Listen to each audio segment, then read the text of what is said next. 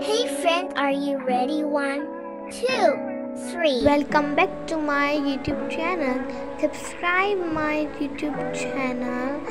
Please watch more videos. To bell icon is correct.